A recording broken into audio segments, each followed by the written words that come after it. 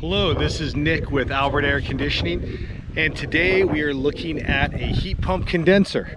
I'm going to go through what this unit is, some of the benefits and features on it and towards the end of the video I'm going to talk about the rebates associated with the heat pumps now uh, that the government, the federal government has as well as some manufacturer rebates and local state and city rebates. So stay tuned for that and uh, as always like my page and subscribe to it and uh, leave a comment in the sections below if you have any questions about it. So basically this is a carrier heat pump condenser. This is the infinity Greenspeed. So it's a 2.5 vna 4 60a003 that's the five ton model this uh, is a variable speed condenser, goes from 25% capacity up to 100% capacity on heat and cool. So that means that it's in 1% increments. So it will run at 75 different speeds depending on what the temperature and humidity is in inside your house and outside your house. Um, we replaced a traditional gas furnace and AC coil and condenser system with this so they went all electric. So there's no gas it cools and heats by electric. So this is what does the cooling and heating. This heat pump condenser it switches a reversing valve to go to heating from cooling.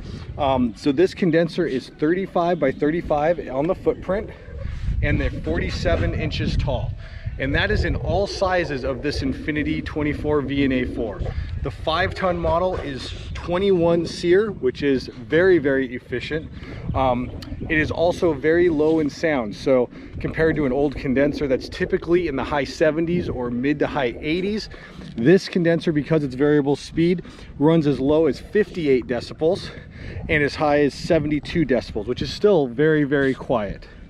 Um, so this this is also a two-wire design outside. It's fully communicating. So inside you have to match it with the Carrier Infinity fan coil and the Carrier Infinity control thermostat for it to work properly and do all of its speeds, which give you the communicating capability, your Wi-Fi, your fan control, so you can set minimum uh, your minimum airflow and your maximum airflow limits on this. It has dehumidification functions on it, which make it very, very nice for when you're trying to keep your house as comfortable and even temperatured as possible. Um, on the outside of this, it does have a nice weather armor protection on it, so it won't keep it, it will keep it nice and won't keep it from rusting or anything like that. It has a 10 year parts warranty and 10 year compressor warranty on it. Um, so, you know, the other things about these heat pump condensers that are, are new is all the rebates associated with them. The carrier manufacturer of this, they have a carrier cool cash rebate, and this one gets $1,350. That's an instant rebate that the contractor actually takes off the invoice. The next rebate that is out there is the federal tax credit.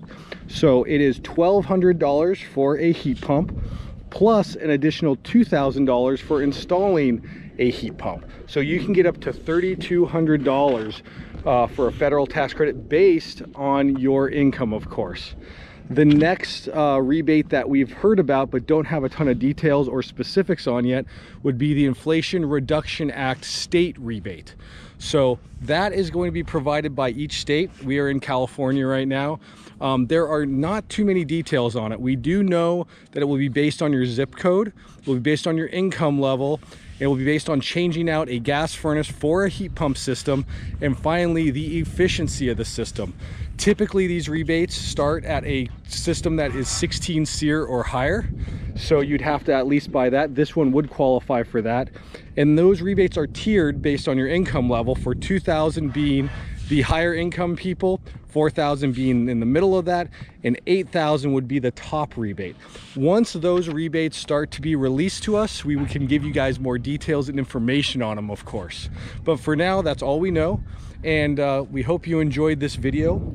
For more information, visit us at www.albertair.com. And as always, please like and subscribe to my page. Thank you.